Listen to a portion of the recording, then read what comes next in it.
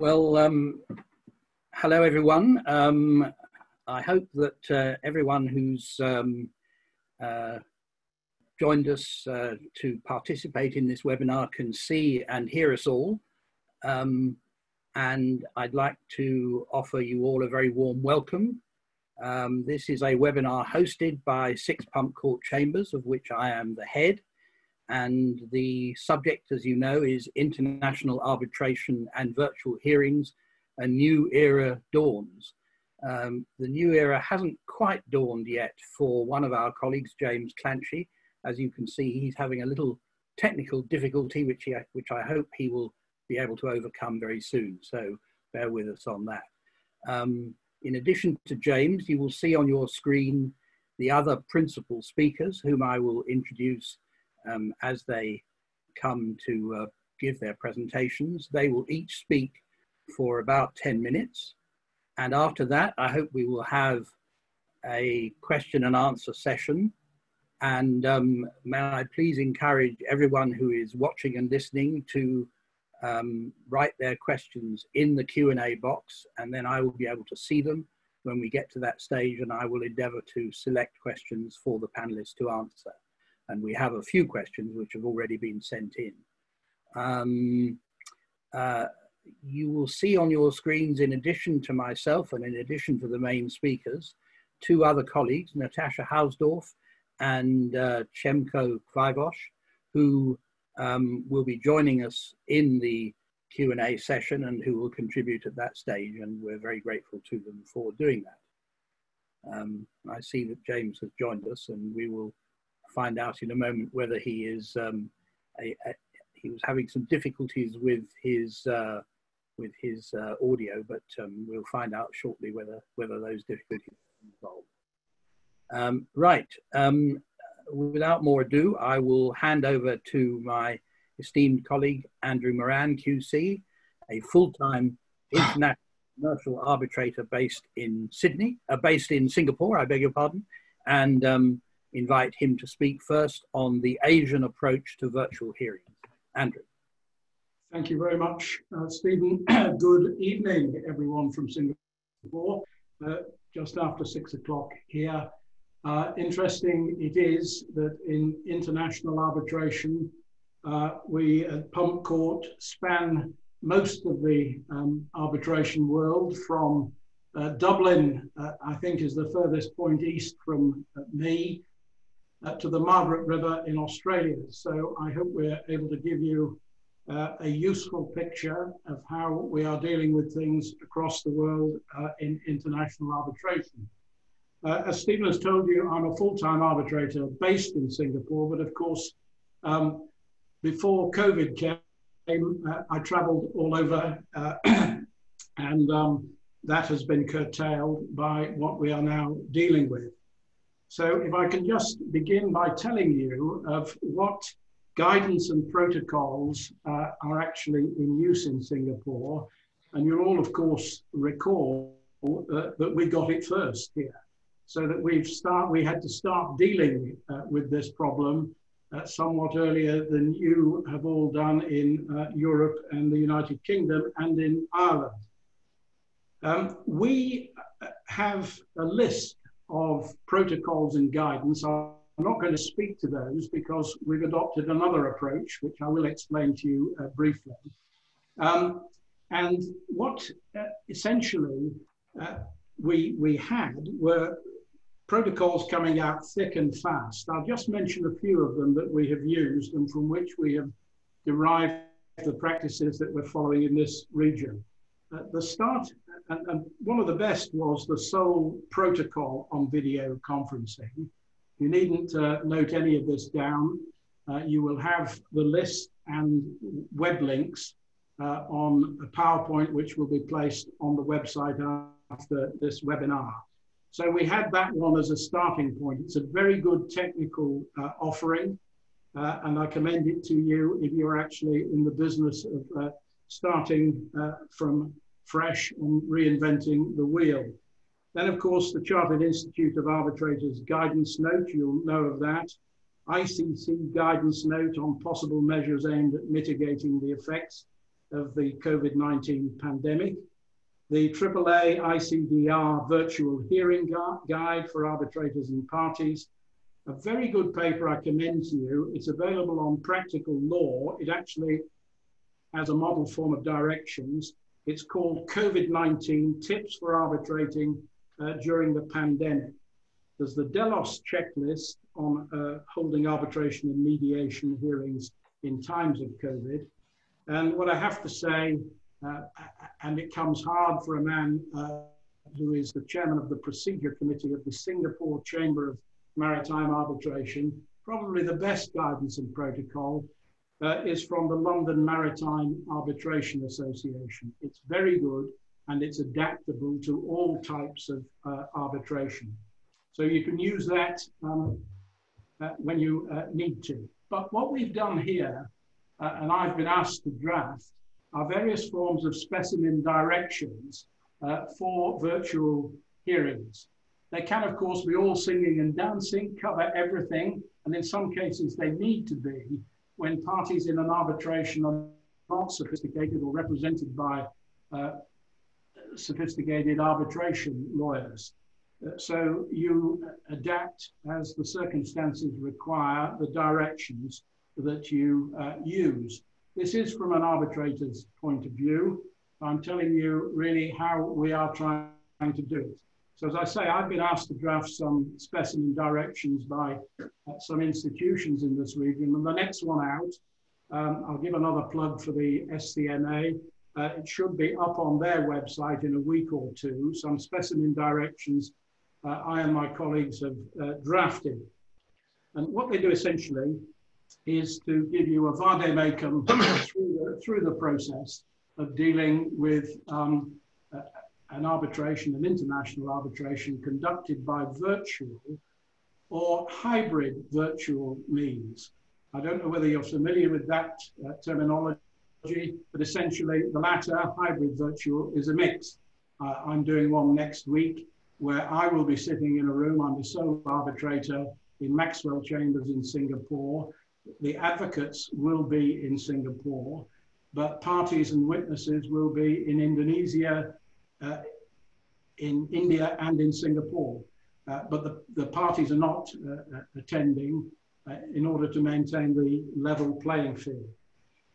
Very important in the directions to um, identify the platform uh, that you are going to use from amongst the various options, and you'll know there are various options. The most common ones seem to be Zoom, Microsoft Teams, BlueJeans, and GoToMeeting. Uh, we use tend to use Zoom. I'm not uh, advertising any particular one, but you need to state that in the directions, and you need to decide as parties which one you're going to use. One important direction, and this comes from experience, is this all active participants at the hearing shall familiarize themselves to a sufficient degree with the use of the platform prior to the hearing in order to ensure the hearing proceeds efficiently and without interruption. And I can tell you before I started putting that in, that people would turn up thinking this was all a bit of fun and we could press a button and participate very easily. Not so, you need to be prepared for it. Uh, then also included in the specimen directions is uh, at your option, uh, a direction to engage a, a support vendor.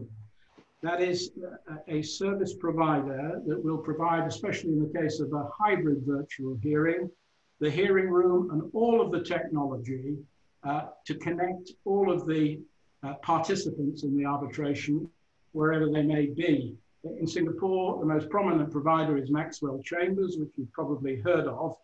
But the objective of the direction and the engagement of a vendor, a term now in common use, is to ensure security of access to the hearing, to assist and support the host in operating the platform, and to work with the tribunal and the parties to resolve any difficulties that may arise concerning the use of the platform and connectivity with participants uh, during the hearing.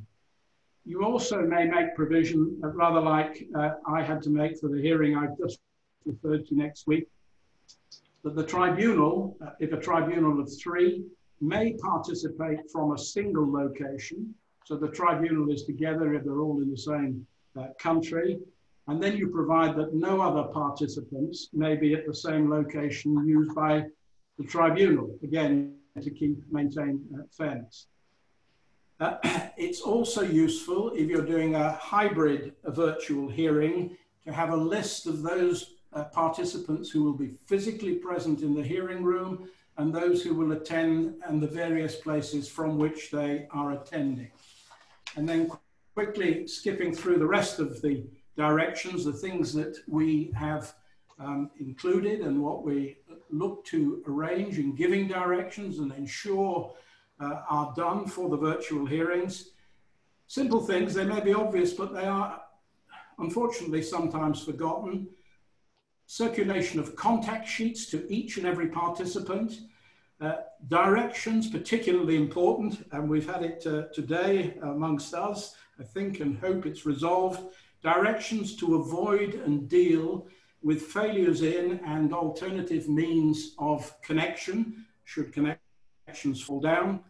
The critical direction, I think, and have found, is the direction to have a dry run or a test session. Uh, and that includes for document management and display across the media that you are using. That, that is critical. Coupled with it, um, I always now issue a direction to have a hyperlinked index of the hearing bundle documents, uh, which can either be managed by the host, the advocate examining a witness, or the vendor under the direction of the advocates. Click on the hyperlink, sh share the screen, the document uh, comes up, the witness can see it, the tribunal can see it, he can be asked about it. So that's a, a very important uh, direction to have. It's also important uh, to have uh, a direction as to hearing etiquette and management, virtual waiting rooms, visibility of people in the room, no over speaking, uh, I also direct no virtual background, so you can see all the rubbish here behind me. I'm a real person in a real place, not on a tropical beach somewhere.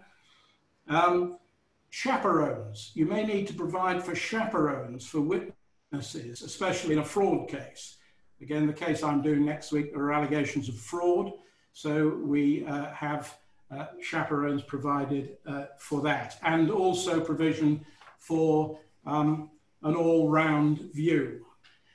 I'm going to conclude my 10 minutes very quickly by saying a word about virtual advocacy. Uh, it is a brave new world, and I think it's actually a very exciting new world. Uh, I wish I was an advocate in it. I'm not any longer.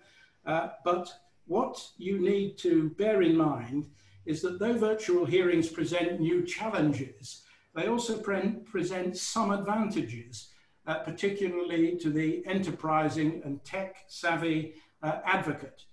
Uh, it's particularly impressive in Asian, Asian arbitrations, I have to say to you, and I can make a comparison because I do arbitrations in Europe uh, and in Asia. Uh, the use by advocates here of presentational technology is first class. Even PowerPoint, just PowerPoint probably the best, but it has some very useful and effective features.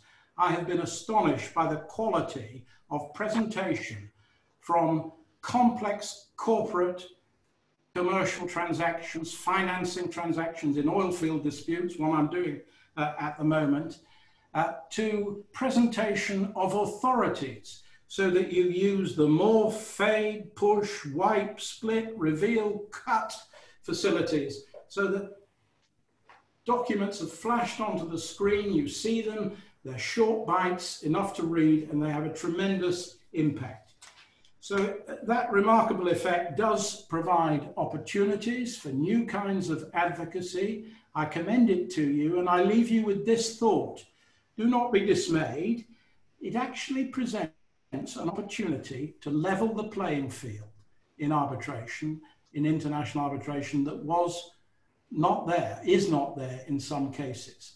So that advocates who may not be, it may not be their first language, the language of the arbitration, but they can be just as effective using some of the modern techniques we've had to employ here in Asia to conduct virtual arbitrations. I'm done, I think, within my 10 minutes. Thank you very much indeed, Andrew.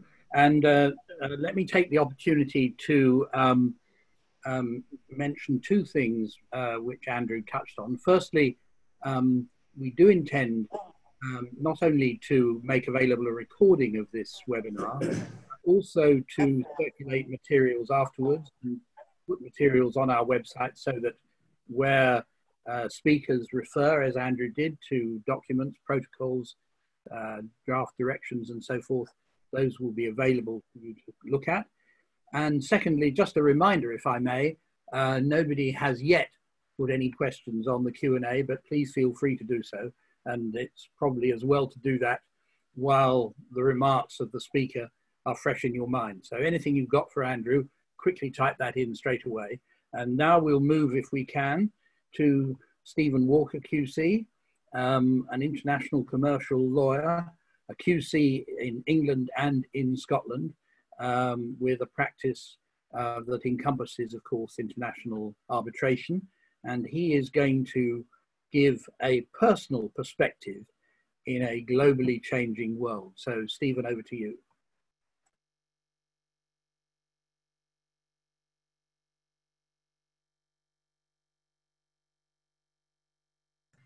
You're still on mute at the moment, Steven.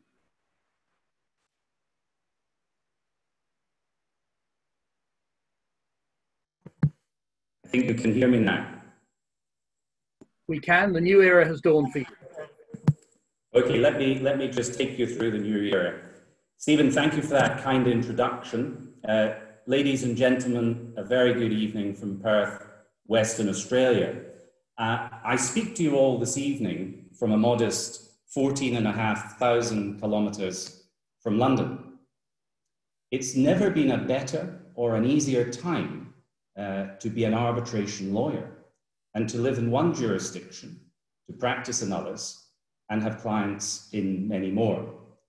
The world is truly a global marketplace as never before, and it's never been easier to conduct transnational business from the comfort of your own home study. Of course, this is all facilitated by the wonderful technology we are using today. Even more importantly, and largely as a consequence of COVID, there is a general acceptance in the business and legal community of doing business differently. All of this creates a new and exciting era for international arbitration practitioners, for arbitrators, and perhaps most importantly of all, for clients. I have been practicing international arbitration since the late 1990s, largely at the bar, but also early in my career at Allen and Overy.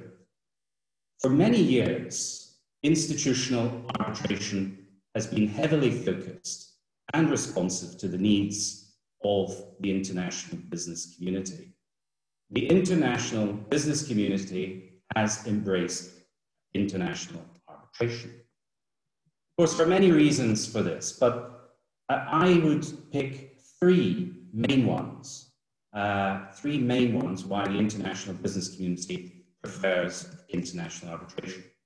Firstly, it's a relatively quick process if done properly.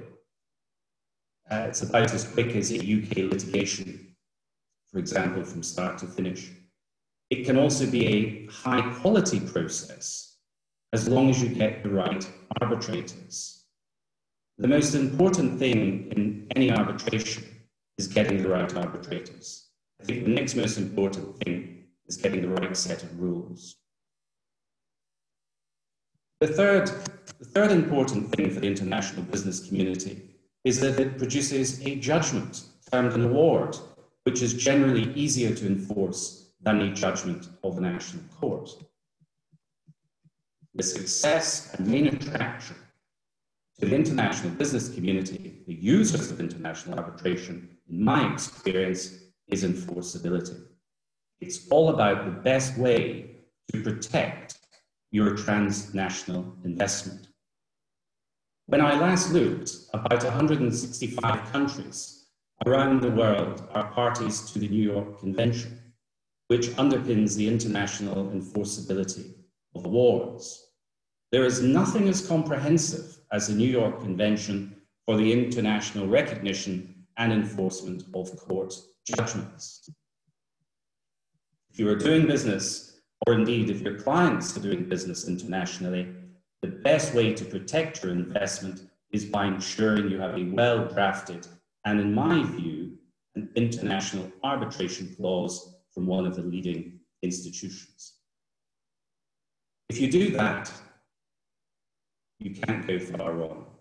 I would, as a general rule, tend to avoid ad hoc arbitration.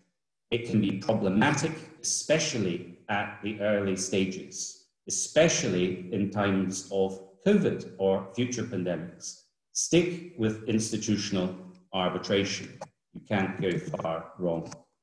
If you do nothing else other than go to the ICC, LCIA, or SIAC websites, or indeed another leading institution, and simply copy and paste one of the many precedent arbitration clauses, that should be sufficient.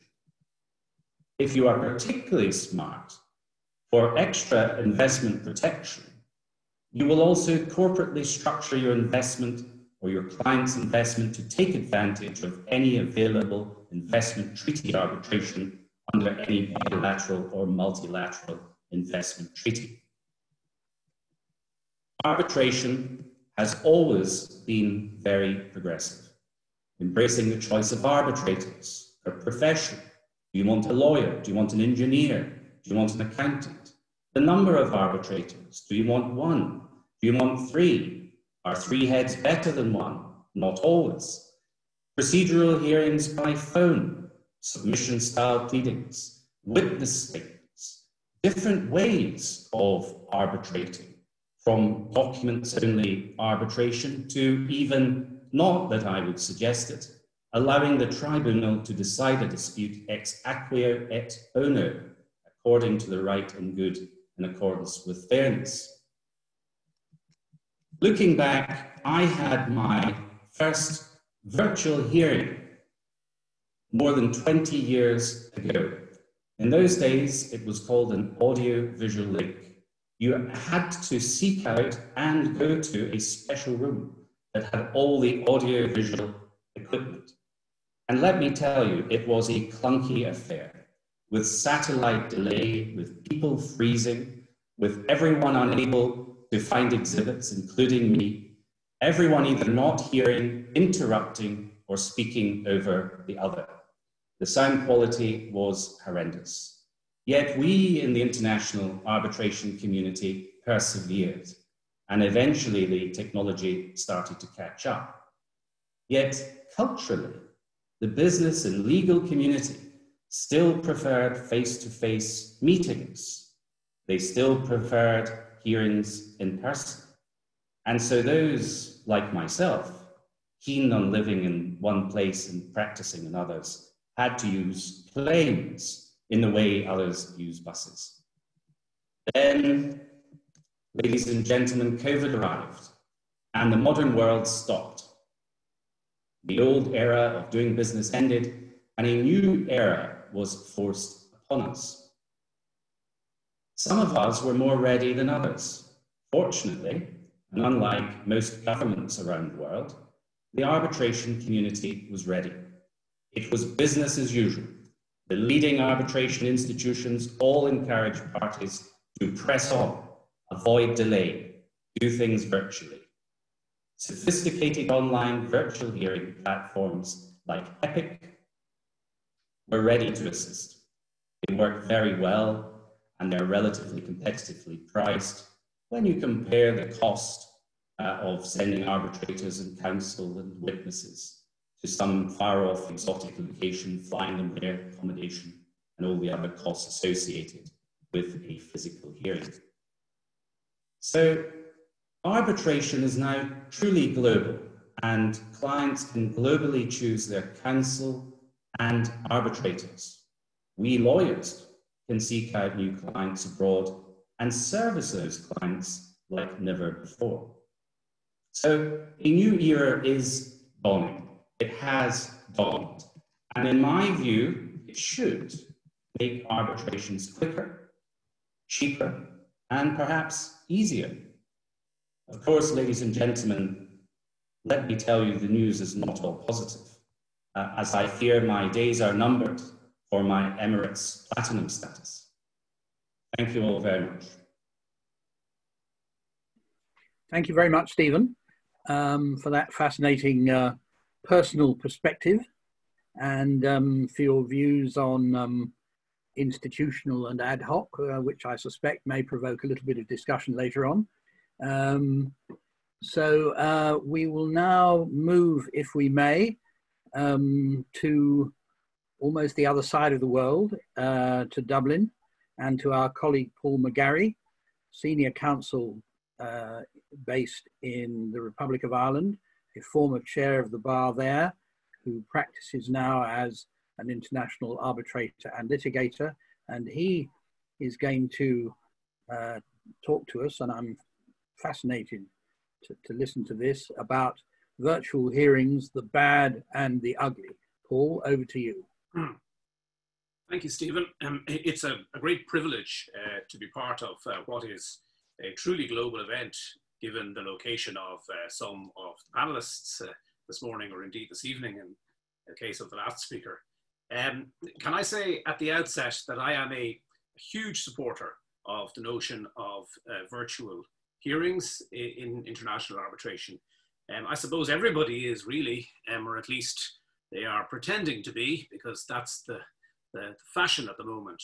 And um, what, what I'm going to talk about uh, in the few minutes available to me is the fully virtual concept as opposed to the hybrid or partial uh, version that um, uh, that Andrew spoke about earlier. That's where some of the parties, and especially the tribunal, are in one location and other people are beamed in, so to speak.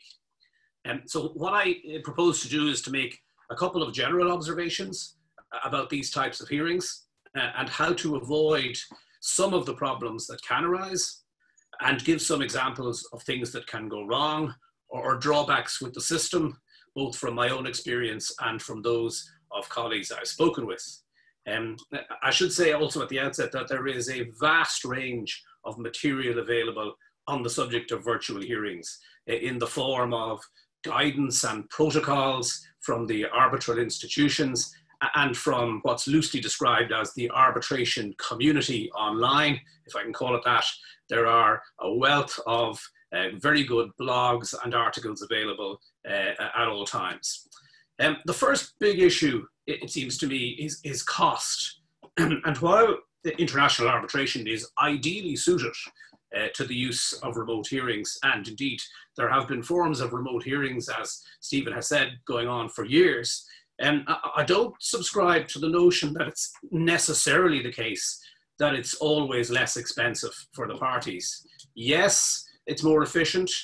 Uh, of course, it's more environmentally friendly, and there are significant savings in travel and venue costs. But uh, the time taken to prepare for all aspects of the hearing, uh, the preparation of material, dealing with witnesses, communications within the legal teams, and indeed the hearing itself, often take longer uh, and are much more complex to organize. Uh, and that's particularly the case uh, if everybody involved is not at the same level of technological competence or indeed is using different forms of communications and document systems.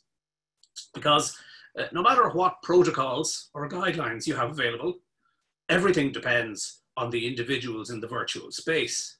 Everybody needs to be at a certain level of competence in relation to technology.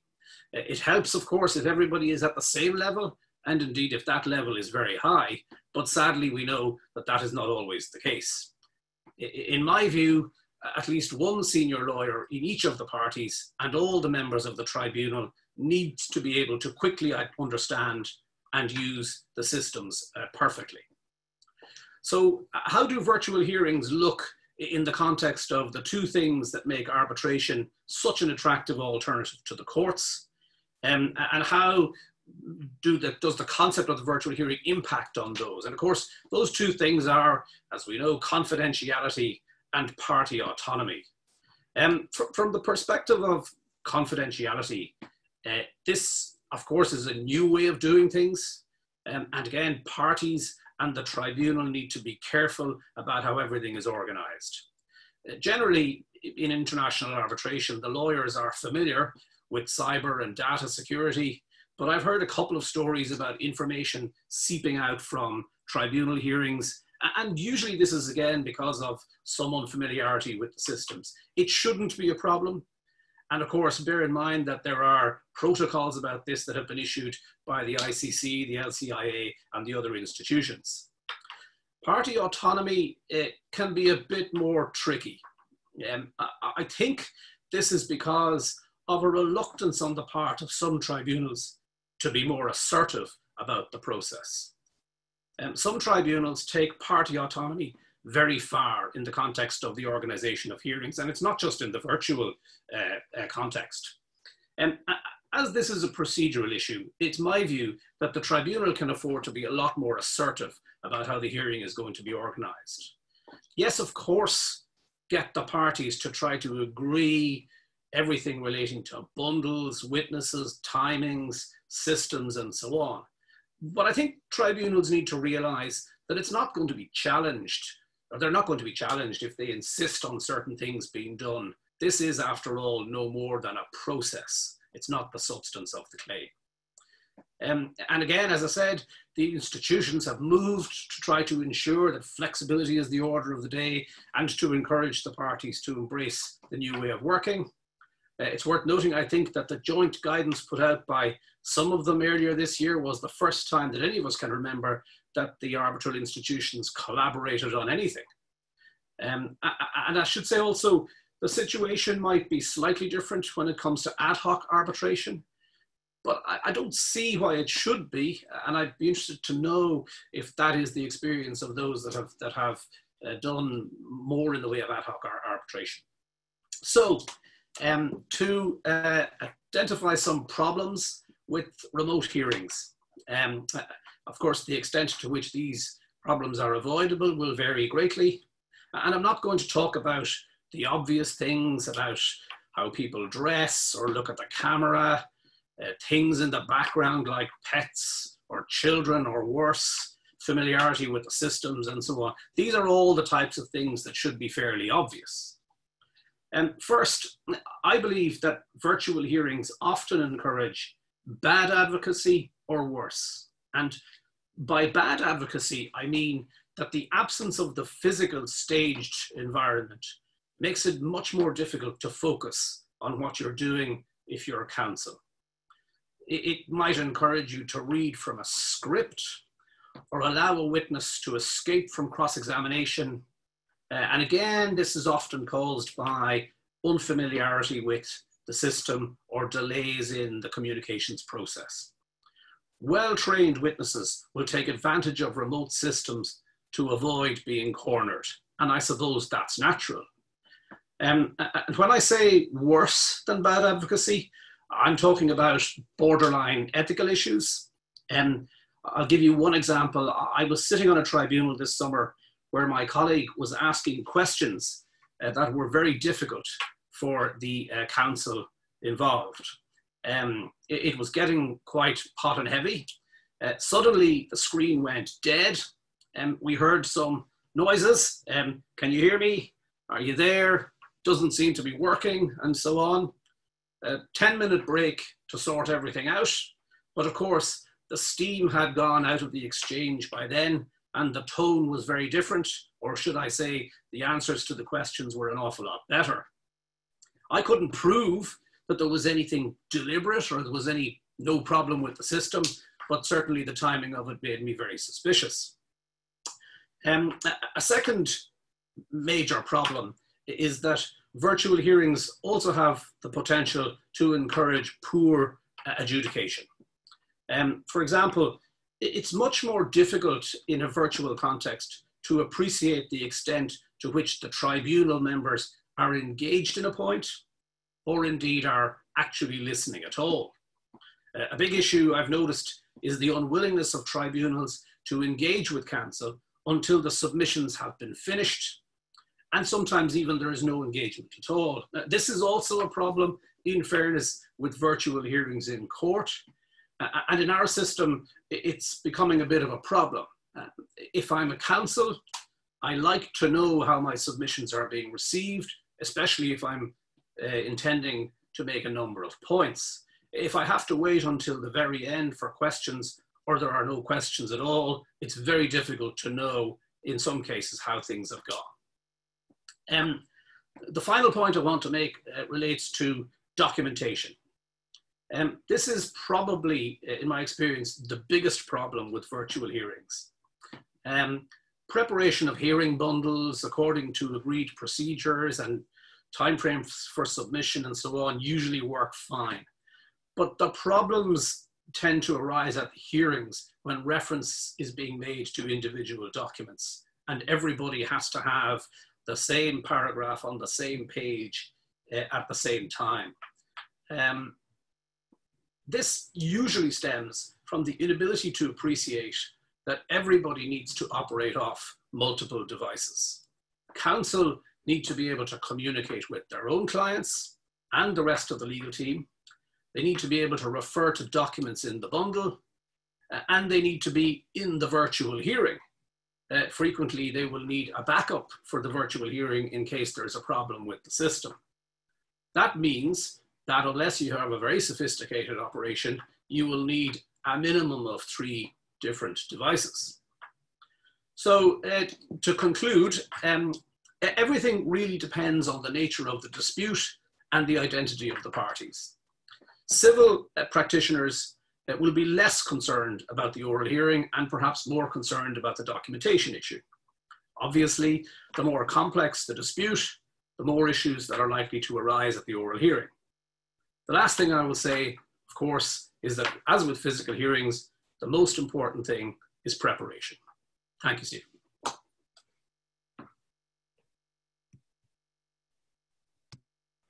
Thank you very much, Paul. Um, and um, I hope it will be welcome to everybody uh, watching and listening that we have not merely geographical diversity, but a diversity of perspectives in this webinar, um, as Paul's um, interesting talk has illustrated. now we turn to my colleague in London, Anthony Connerty, um, a barrister with, with uh, a practice both as an arbitrator, as a mediator, and as a uh, litigator. And um, he is going to talk about the future of international arbitration following the pandemic, and in particular, the hybrid hearing. So, Anthony, over to you. Stephen, many thanks. Um, as Stephen says, I'm going to speak about the future of the international arbitration following the pandemic and look in particular uh, at the idea of a hybrid hearing. Um, my paper, which will be distributed after this webinar, looks at coronavirus and its impact generally, then its impact on litigation and its current impact on international arbitration, and then the future of international arbitration in the light of COVID-19. But first of all, I'll look at the impact of the virus generally.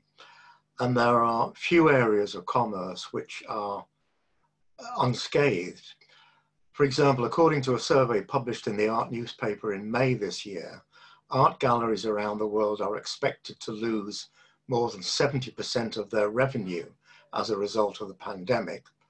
Around one third of the galleries do not expect to survive. And the May edition of the art newspaper reported that the New York Met is forecasting a $100 million loss in the world of fashion, um, stores are closed, orders cancelled, factories shut. Um, the view is that COVID-19 uh, has ushered in a reckoning for the 2.2 trillion fashion and luxury industries. And if we look at the property market, that has also been badly affected. According to Zoopla, some 373,000 transactions were on hold in the UK with a total value of 82 billion pounds. Turning now to the impact of uh, COVID-19 on litigation, the effect on lawyers, first of all, Um, according to the Law Society, 71% of community law firms said that reduced incomes during coronavirus have put them at risk of collapse. Something like 800 firms responded to the Law Society's survey. The president of the survey stated that there are widespread concerns over the liquidity of firms which are facing a dramatic plunge in income. And the impact of the pandemic on lawyers is something which affects the UK economy as a whole. Uh, David Lammy, the Shadow Secretary of State for Justice, says that getting lawyers back to work is crucial for restarting the economy and beginning the recovery. And he's reported in the Financial Times in August as saying this the UK has the second largest legal sector in the world, second only to the US. It contributes almost 60, 60 billion pounds in gross value added to the UK economy each year, and it supports around 552,000 full-time employees. English law is one of our strongest global experts, exports used in commercial contracts internationally, making London the top choice seat for arbitration. In this crisis, it has been a, a world leading innovator in using remote technology. Well, some may question whether London is the top choice, but it's certainly one of the major choices if it's not the top choice. Um, turning now to the effect on the civil courts, a protocol regarding remote hearings that was uh, issued in March this year by the Master of the Rolls and others, and I've set that out, uh, the detail of that in my paper. As to the criminal courts, um, a letter from HM Courts and Tribunal Service, the 27th of March, announced a temporary change was being made to the way in which the courts and tribunals will operate during COVID-19. And again, I set that out uh, in the paper. But turning now to COVID-19 and its current impact on international arbitration, I'm going to look at five matters, existing procedures, arbitral institutions and remote processes that they've put forward, guidance notes, webinars, suggestions from institutions, and platforms for virtual hearings. Looking now, first of all, at existing procedures. As has already been made clear by other speakers, international arbitration is already familiar with remote hearings in one form or another, and the impact of coronavirus on international arbitration is therefore comparatively limited. Uh, my experience as counsel and arbitrator in the conduct of international arbitration, whether institutional or ad hoc, is that various procedures are already used which may be labeled remote. Um, acting as counsel or arbitrator, LCIA, ICC, AAA, CIETAC, CIR, Stockholm, Lagos, LME, London Metal Exchange, ICA, International Cotton Association, and in our ad hoc arbitrations, my experience is that the procedure at an arbitration is likely to involve matters such as the use of telephone conferences, for example, in the preliminary meeting where the tribunal and the parties plan the future conduct of the, of the arbitration, a vital stage in any large arbitration. Then at the later stages of the arbitration where interlocutory matters are dealt with by telephone conferences. Next, the use of emails throughout the course of the arbitration in communications between the parties and the tribunal. Then the service by the parties by email of written submissions on issues arising during the course of the arbitration. And then the issues by the tribunal of procedural orders dealing with matters arising in the arbitration. For example, in relation to pleadings, document disputes, Redfern schedules, factual witnesses and expert witnesses, directions on matters leading to a hearing, such as the pre-hearing submissions, agreed bundles, witnesses, and the order of speeches by advocates, and usually in a, in a large arbitration, uh, the submission of post-hearing submissions. But international arbitral institutions already make provisions for remote procedures, and these range from documents only arbitrations to institutional rules which make provisions for the use of remote processes within an arbitration. And with parties in different countries and in different time zones, such remote procedures are of considerable help. And there are many examples, and I'll just take a few. Um, looking now at arbitral institutions and the provisions for remote processes, uh, in my paper I've mentioned five, Chartered Institute of Arbitrators, ICC, CIETAC, AAA and the LCIA.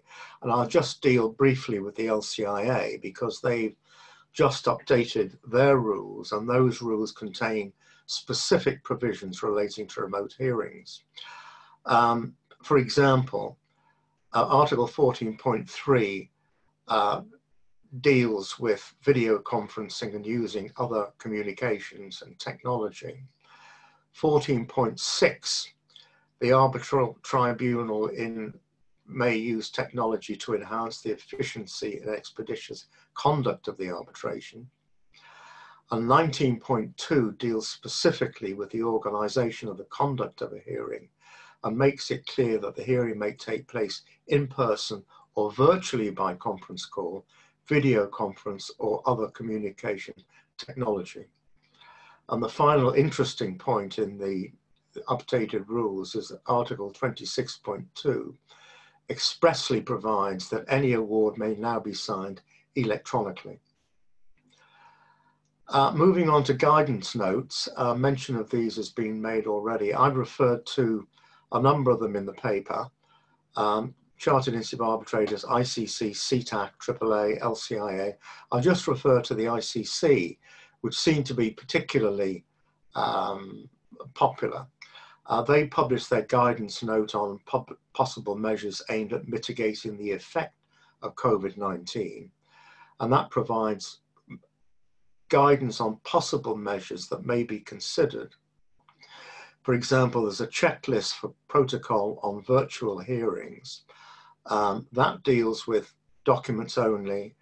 It deals with aspects such as the virtual hearing room, whether there should be a 360 degree view of all participating rooms, whether that's required, and agreements in relation to virtual rooms themselves. And there's a section online etiquette and due process lists. I've set those out in the paper. Um, there have been a number of webinars, well, there have been many webinars going on from about March onwards um, with suggestions from various institutions. In my paper, I've mentioned a number, ICC UK, LCIA and the Netherlands Arbitration Institute. I'll just refer to the Netherlands um, webinar, which took place very recently at the end of August. Um, that was on what I think is a very important topic, the examination of fact witnesses and expert witnesses through virtual means. And the speakers were Juan, Juan Fernandez Armesto and Albert Jan van den Berg. Um, the suggestions for dealing with the examination of witnesses, and I think this is looking more at factual witnesses rather than expert witnesses, is ensuring that only the witness statement is available to the witness in the virtual room. Secondly, that one other person should be in that room with the witness, probably a lawyer, and that person incidentally could be available to assist the witness in locating documents. I mean, the example gave if you, the witness is a farmer, he's unlikely to be able to handle uh, looking at um, electronic documents. Question of whether there should be two cameras in the room, one camera to be 360 degrees and sighted behind the witness. Uh, Article 28 of the NAI rules deals with witnesses and experts. That provides that the arbitral tribunal shall determine the time and place for the oral examination of a witness. And the view of Professor van den Berg was that oral examination now must include the oral examination uh, of witnesses at a virtual hearing. And I'll mention two examples of problems in relation to examining witnesses and how possibly to overcome them. Um, I was sitting as a chairman of a tribunal in, in Lagos with two Nigerian lawyers. Counsel for one of the parties objected that a witness he was examining was constantly looking at another person in the room before he answered. Well, we dealt with it by ordering that person to be seated in the room but out of sight of the witness. The second example, uh, I was appointed as an arbitrator sitting at a hearing in Stockholm, and an English barrister cross examined a Russian speaking witness over the telephone through an interpreter. Not an easy thing to do, but he did it. Um, platforms, uh, mention of those has been made already. In the paper, I've mentioned two the International Arbitration Centre Alliance uh, and the Stockholm Chamber of Commerce and Opus 2, I'll mention in a moment. Um, COVID-19 and the future of international arbitration, the hybrid hearing. I think that the conduct of international arbitration is likely to be very different following COVID-19 and the use of virtual hearings of one kind or another is bound to continue. If you're leaving aside documents only arbitrations, there are various procedures already in place to assist virtual hearings. The major international arbitral bodies give a wide discretion to arbitrators as to how an arbitration is to be conducted.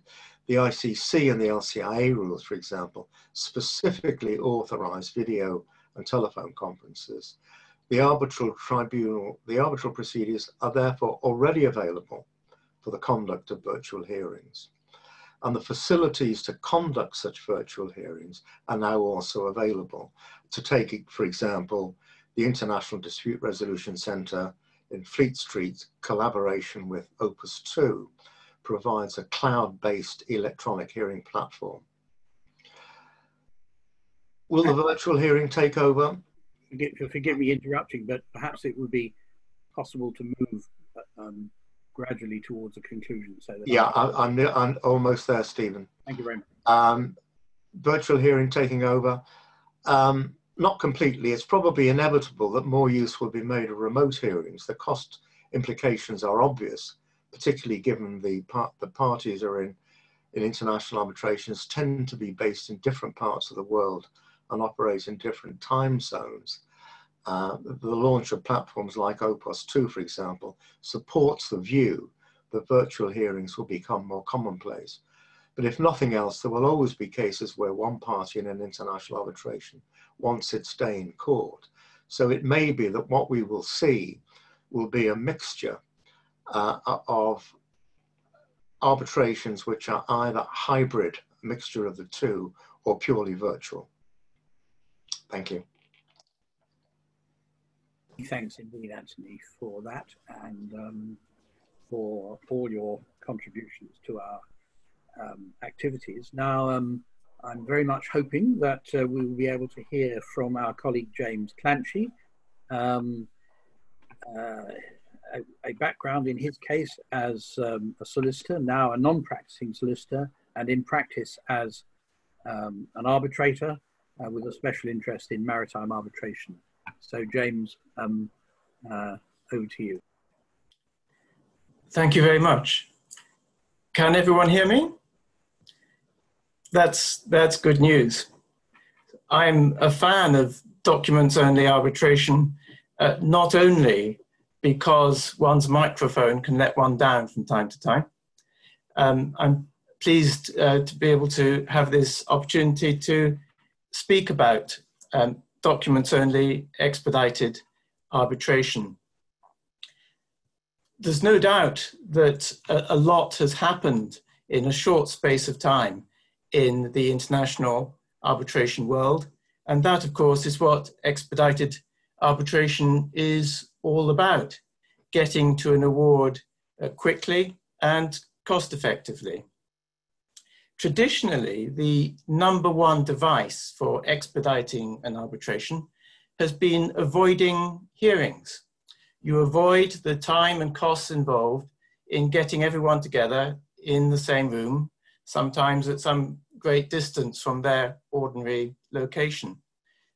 Now that hearings can be conducted online and that you can bring people together from around the world uh, at the touch of a button or, or the click of a mouse, will there still be a demand for documents only arbitration? And if so, will those procedures change just as those involving hearings have done? And those are the, the questions which I'm going to consider uh, quite expeditiously uh, just now.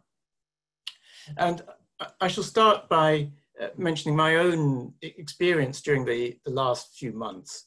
Um, I'm a sole arbitrator currently in two expedited arbitrations, and those have been completely unaffected by the pandemic. That is to say, the procedures are going quite smoothly uh, according to the, the rules. Those rules do not envisage a hearing. Uh, no hearing will be happening.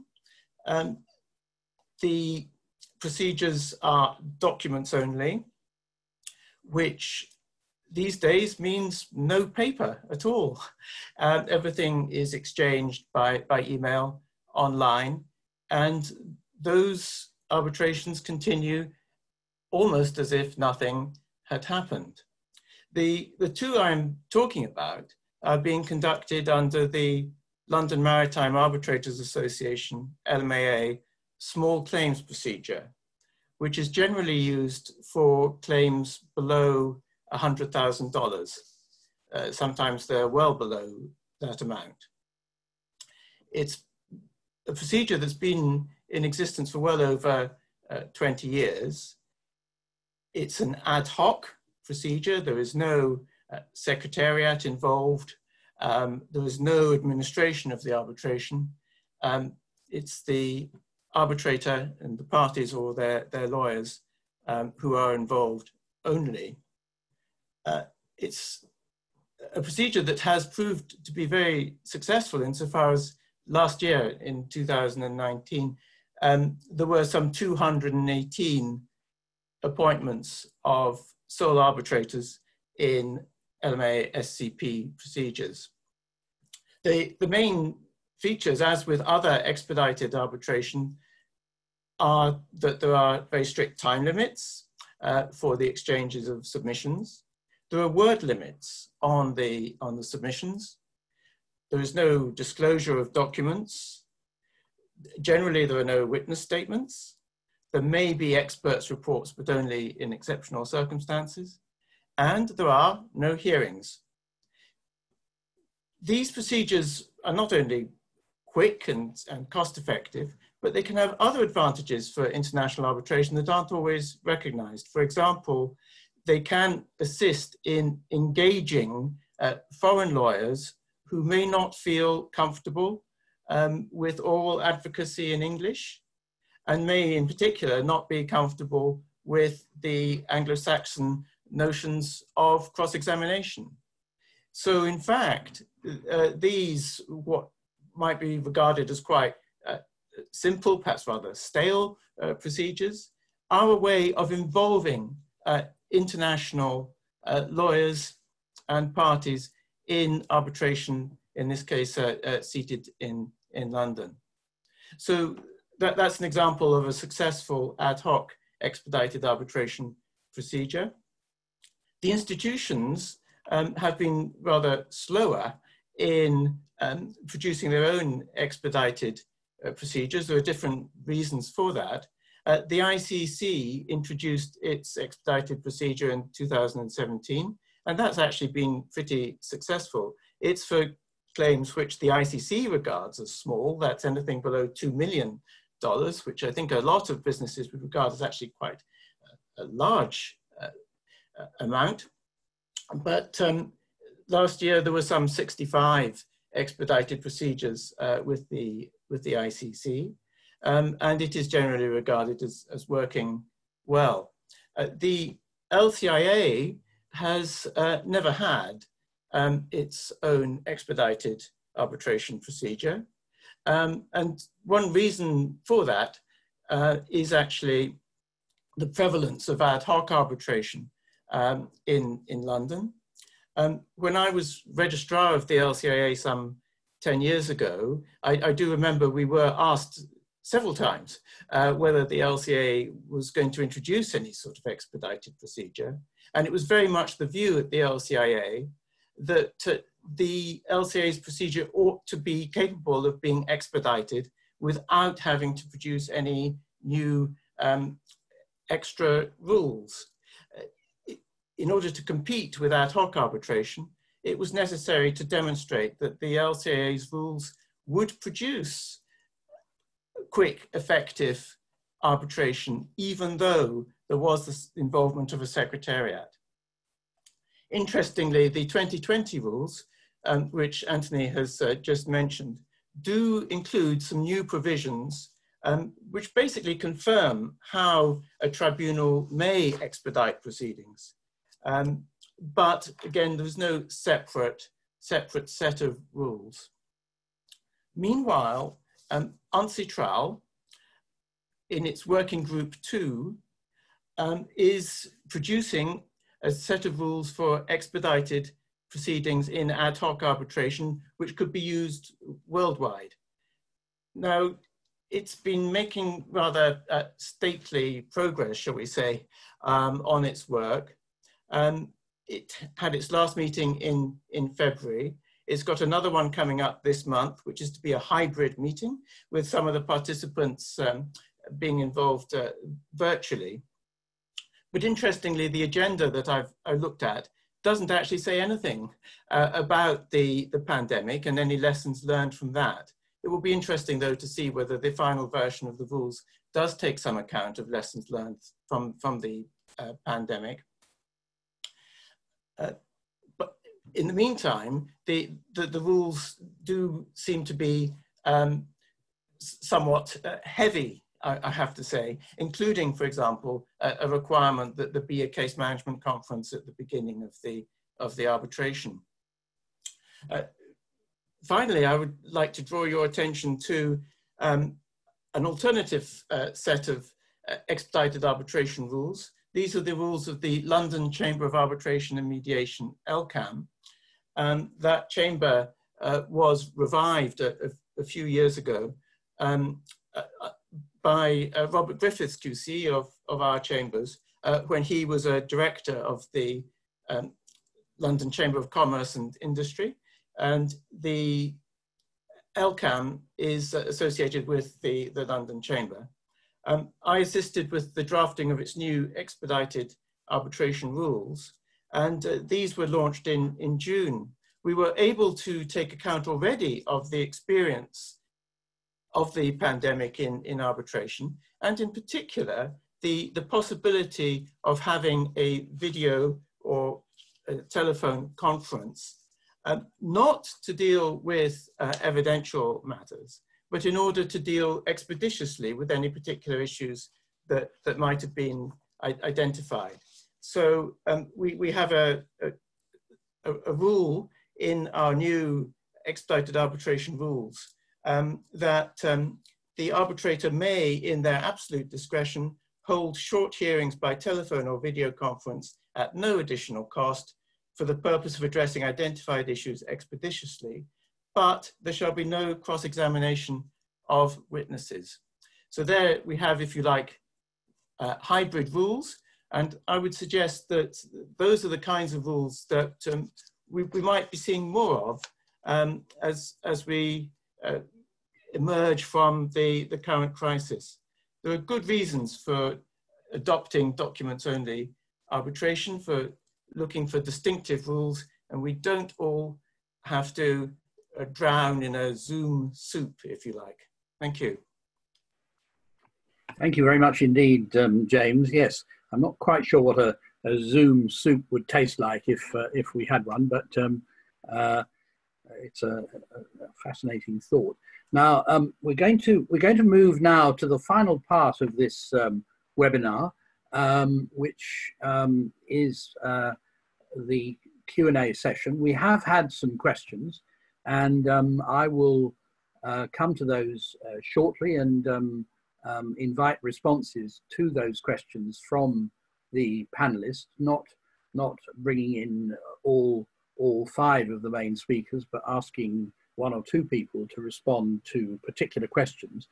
Um, but um, this will also give me the opportunity in a few minutes to bring in our colleague Przemek from Warsaw, who I think wants to raise a matter uh, which is certainly relevant to our topic of um, the possibility of a new era because he wants to say a few words about artificial intelligence, which uh, um, I'm looking forward to.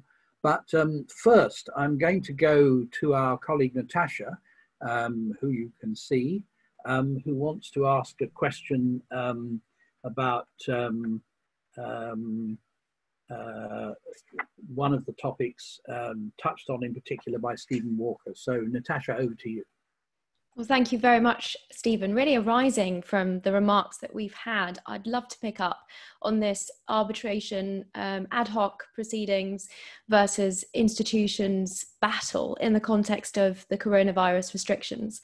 It's fascinating that Steven Walker came out so strongly in favour of the institutions, and certainly the response of the institutions um, has been incredibly quick uh, and impressive. Uh, Andrew Moran took us through some of the wealth of material uh, that's been produced in grappling with and developing um, responses to the situation and the implications of the restrictions for arbitration hearings. Um, and indeed, very recently, those LCIA updated um, 2020 rules provisions for those hearings. The um, Chartered Institute of Arbitrators guidance note on remote hearings emphasizes in the context of this changing situation uh, that flexibility is one of the greatest advantages of ad hoc proceedings um, as they allow parties to orchestrate the resolution of their disputes and develop their own bespoke approaches. So I, I, do wonder is there anyone on the panel that would support the view in that guidance note, or in fact um, has experience of parties in ad hoc proceedings responding to the current crisis?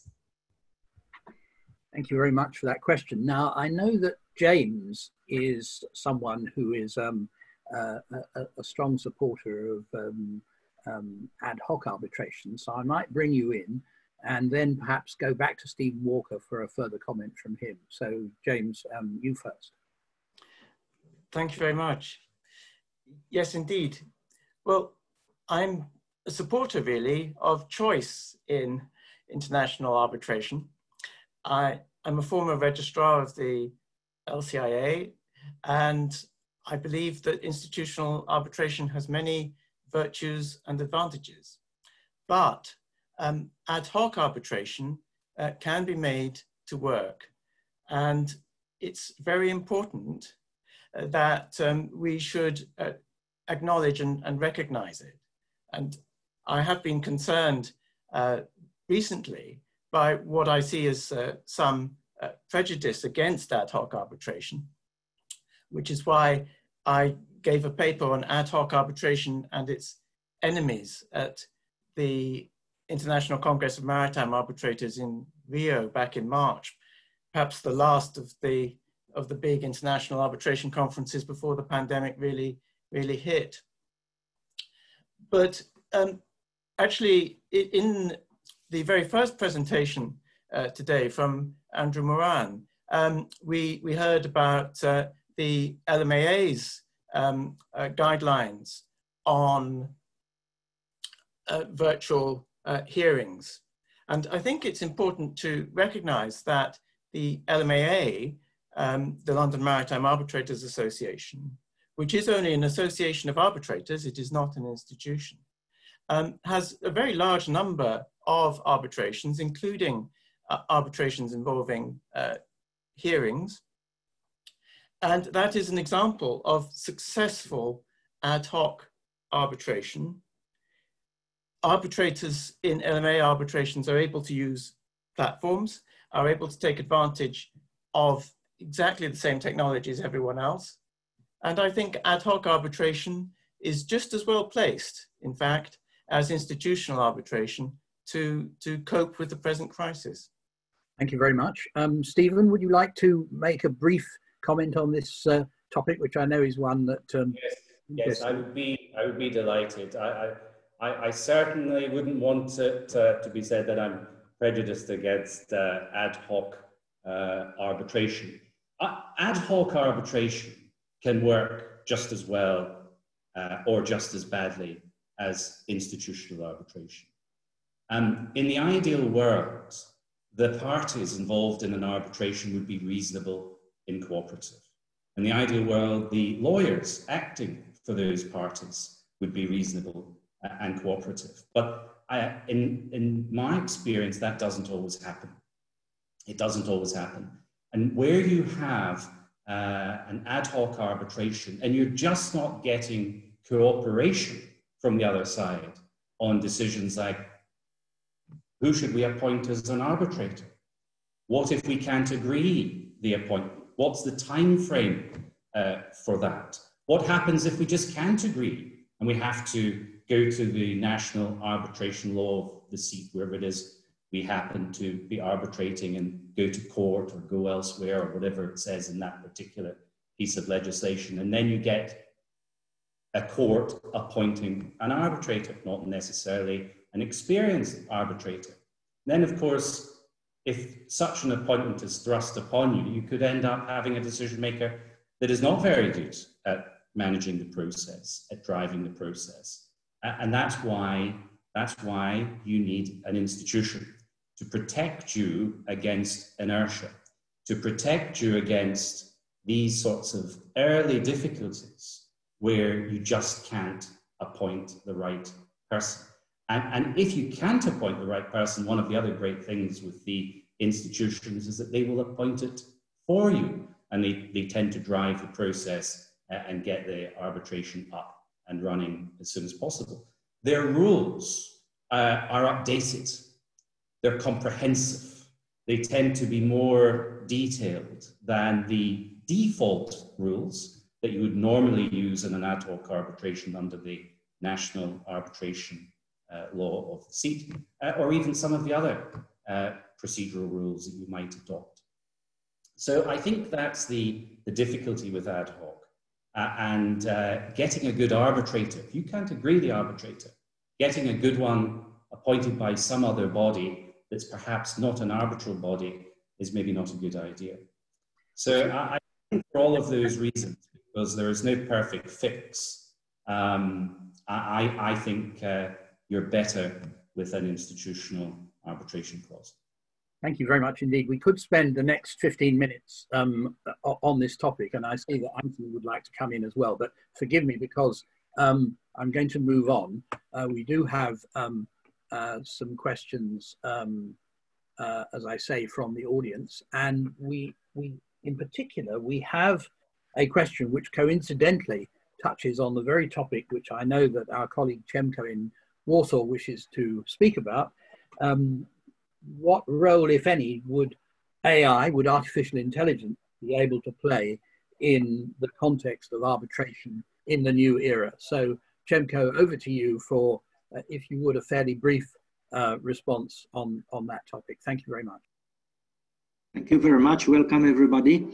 Uh, just very briefly, uh, I'm looking into arbitration and what's going on from uh, the perspective of, of what would uh, happen next. And I believe that we are just facing a lot of changes which will impact the whole process and uh, artificial intelligence is all over us at the moment. It's in the medicine, it's in the gaming, uh, it's uh, in uh, the even in the paintings or uh, art. So why it should not be in uh, arbitration? From this perspective, as the arbitrator, I'm looking into that also as a lawyer if I'm coming to the law firm at the moment, I'm not asking whether you are using artificial intelligence, but I'm asking the question what type of software you are using for uh, disclosure, for uh, e-discovery or whatever. So we are there already. Again, as the arbitrator, why we should not use the same type of software for identifying a document for a particular issue or for just evaluating the arguments uh, from a certain perspective. Maybe it's a little bit against what uh, usually arbitrators would do or would look, would look for now, but I think uh, this, this will change. Next issue is that in uh, with with all the virtual hearings, we are again in the new earth. We can just not only look into the, the witness, but we can uh, analyze the behavior of the witness as well as uh, the behavior of the arbitrators, as was mentioned uh, here. and analyze it. It's like uh, just a machine that may disclose uh, not only what the witness is uh, talking about, how he's talking post factum, just to evaluate uh, the weight of his uh, presentation. So next element is what is uh, called low code programming, which effectively allows everybody to make uh, your own applications which can uh, just serve the purpose in particular at the recovery stage of the arbitration. So this is the next uh, issue, not necessarily uh, we need just to go and learn Python, which is not the Monty Python, I mean, but uh, just the programming language. Uh, but I can sit now and just write the expert system, which will the parties uh, to the solutions and we'll just solve the problems. So these are the issues which uh, are probably the future with all the problems related, for example, biases in the AI or the usage of uh, information technology for evaluation of the arbitrators, thriving in the US, but in France at the moment. So I'm sorry, I'm just watching the clock and I think I'm close to my time span. So um, these are issues which I think we need just to consider and have in mind, have in mind because the next step will be uh, again totally different. And if we are just summarizing, if we are talking about virtual hearings now, probably it will move into, let's call this headquarters corporate uh, virtual rooms when you have uh, the half, let's say half is uh, low let's say, 2 million US dollars equipment, which is allowing 10 or 15 persons just to be, the, to be there and just conduct the conferences worldwide. So I think this neatly puts into the question of Mr. Just a moment, I noticed this, uh, uh, Mr. Mr. Murphy about the watches which uh, just allow the uh, witness to be controlled or just to be guided. And these are the things which will happen, in my opinion, very soon, and we must be prepared for that. Thanks. Thank you very much indeed. Um, now, um, as you say, we do have a question from um, a member of the audience um, uh, addressed primarily to uh, Anthony Connerty, and um, it, it, it, it, reads as follows, and I'll summarize slightly. It's about um, something called haptics, the, the, the scenario is a witness wearing a smart watch, which allows any third party to hear proceedings and coach a positive or negative reply to a question.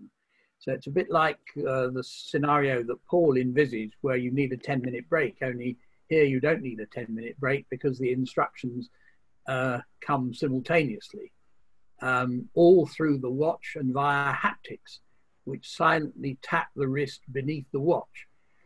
um, so the question is, what is your view as to how this technology may affect a hearing?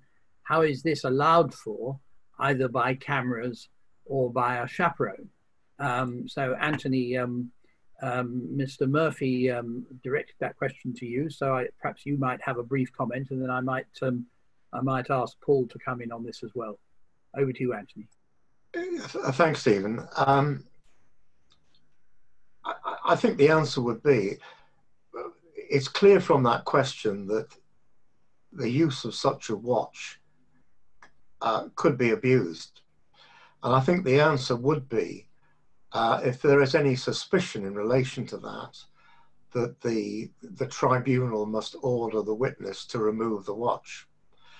Um, that would seem to be the simple answer. I don't know whether any of the, uh, the, the rules which are coming out or the guidelines which are coming out deals with this particular problem. I've not seen it anywhere, but if it did come up, well, the simple answer is the tribunal orders the removal. This obviously must only apply to factual witnesses, because in the case of an expert, an expert is unlikely to be need to be coached. And I think there are three points in relation to an expert. The first is that you can check out an expert in advance if he or she is a, um, a well qualified person in a, in a, in a large international forensic accountants or whatever it may be, you're fairly safe with that person. The second is, uh, the second point is that uh, an expert witness is not likely to need to be needed to be coached. You know, the expert is an expert and ought to know the answer himself or herself. And the third, and perhaps the most compelling reason in relation to fears of coaching in relation to an expert, is that an expert's got too much to lose. Um, you know, the man who's a partner in a firm of chartered accountants or forensic accountants is pretty unlikely to uh, to risk his his or her reputation by uh, uh, um, wearing a smartwatch and, and taking taking uh, uh, uh, instructions on the quiet. The, the only the, the, the, usual problem with an expert is bias. That the, the evidence that they give is biased. Let me just get a quick comment in a moment from Paul. Uh, in passing, I might say that although the use of such watches might well be entirely inappropriate during an arbitration, it occurs to me that it would be a jolly good thing for the chairman of a webinar to have to be able to signal um, unobtrusively to speakers that their time is uh, their time is nearly up. But um, leave that to one side. Um, I may get uh, into deep water if I pursue pursue that point any further. Paul, have you any comment to make about the haptics watch and about um, the onset of artificial intelligence and technology generally um, in the context of fair proceedings? Yeah, I mean, I'm, I'm inclined to agree with uh, Anthony. It's not a, an issue that's confined necessarily to um, virtual style hearings. Um, uh, uh, obviously, the, the, the more physical the, the environment, the greater control the tribunal or whoever is responsible for enforcement of ethical rules and so on has um, because they can see what's going on. But but it, you, you would invariably have cases, physical hearings where people have to be beamed in, or even people are in the room and there's a myriad of means of communicating with people um, through smartphones or whatever, um, even in physical hearings. So it's really difficult to control. I'm not certain that it's a major problem, I have to say. Um, and I agree with Anthony about the fact that you know, expert witnesses wouldn't really be in that position. You obviously have reports prepared in advance and so on, and everything is now quite sophisticated with statements and so on. So I'm, I'm it's it's difficult to see how it would how it would operate to change dramatically the outcome of uh, an event like a hearing or a dispute. Thank you very much indeed. Well, we're nearing the end of our time, but um, there is one more question um, which I'd like to um, uh, um, mention. And I think that um, to go back to where we started, um, our colleague Andrew Moran might be the best person to deal with this one. And this is a question about the effect of remote hearings as opposed to the traditional hearing in which everybody is there in person um, in relation to um, the examination of witnesses, live witnesses, and in particular, I suppose, witnesses of fact where issues of credibility are involved. And I, I, I suppose the question is whether, whether the remote hearing, for all its advantages, will ever really be able to compete with a live hearing where issues of credibility are involved. Uh, um, this is something that worries me greatly. I think I might have uh, mentioned that the case I'm doing uh, next week, the week after next, uh, is a fraud case. And um, as someone who was brought up initially uh, in the criminal sphere, uh, when I first came to the bar, I did criminal cases. Uh, and I'm a, a, great believer that sometimes it's necessary um, to see the whites of someone's eyes when they're uh, lying or telling the truth. Um, impression is still important. We're taught very strictly in international arbitration that it's a dangerous means of determining issues. Um, me, an English uh, white man, Caucasian, um, uh, trying to make judgments about the reactions of a Korean um, who will often, when he's accused of lying, um, apologize. Uh, his first reaction is to apologize. So all of these cultural sensitivities are very important and they're more important in international arbitration than most other forms of uh, dispute. So um, I'm worried. Uh, and next week, I'm going to have to listen to witnesses, uh, some of whom are undoubtedly lying about the, the, events in the case. There's no halfway house. It's one of those cases. You've all been in them. Uh, and I'm going to have to find that somebody is not telling the truth.